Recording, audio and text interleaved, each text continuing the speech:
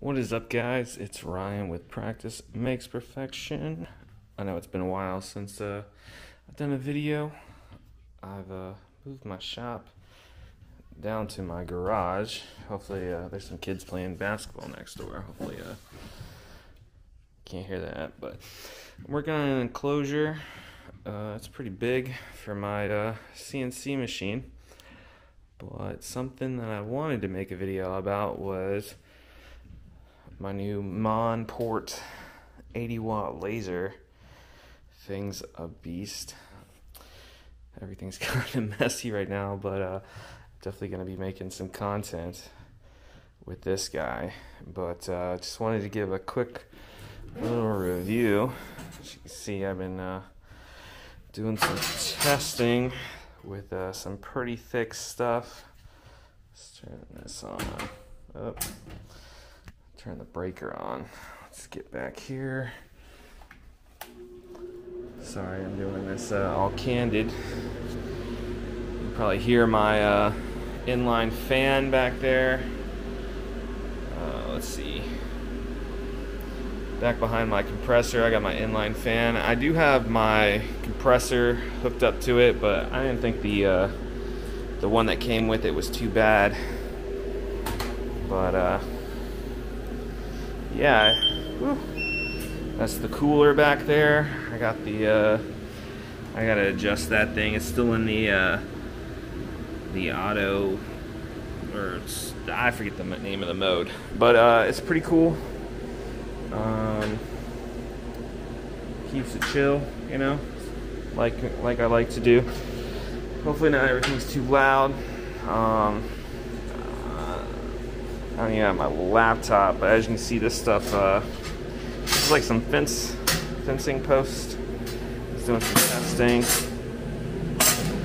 I took the honeycomb that came out, but I'm gonna be doing some more stuff here in the future.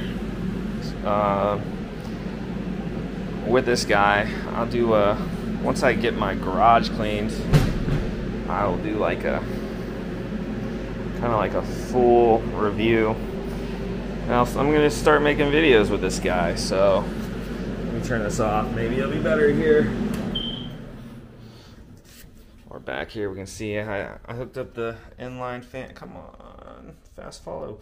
All right, yeah, I got the inline fan. I took out the uh, the one that was in there. It's just hanging out in there. Let's open this up. Check out this monster laser tube that's in here.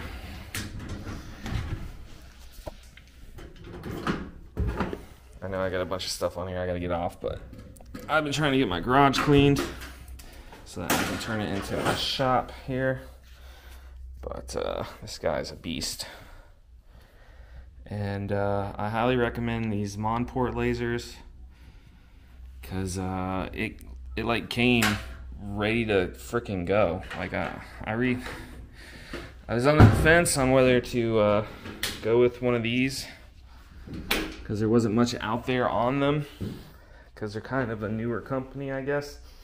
Looks like they just started selling them in like November last year.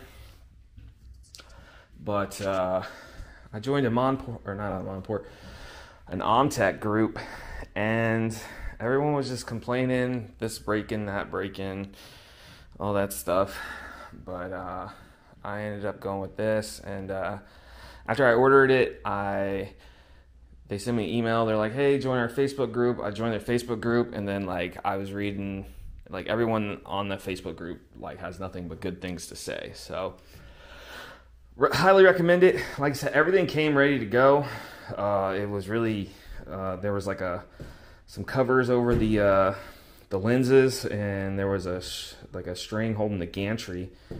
Um, after that, I hooked up. Had to uh, upgrade my license to a Ruida controller on Lightburn, but then like it just it just it just worked. So just a quick video. Uh, I'm gonna start. I, always say this, uh, but it's been like three months since my last video. But I'm definitely gonna start making stuff uh, this summer. So gonna be doing some stuff with my CNC and my new 80 watt CO2 laser. pretty excited. So if you guys want to see some more content with uh, either the SainSmart um, Prover, which I just saw that they had a new upgrade kit. So I know when I first bought mine, it's, it's a 4030 and you could upgrade it to a 6060. Now I guess they have like a 100 100 kit that just came out. It's like $500. I'm like, where was this thing after, you know, because I kind of, you know, engineered mine, but I would have preferred to, uh, you know, use an actual upgrade kit. But it is what it is. But um, yeah, I'm excited. I, I still have a lot of work to do on this enclosure, and I still have some more stuff to learn uh, with the CO2 laser. So I'll keep you guys updated. Thanks for uh, checking out the video. Please uh, consider subscribing, liking, and uh, leaving a comment. Thanks, guys.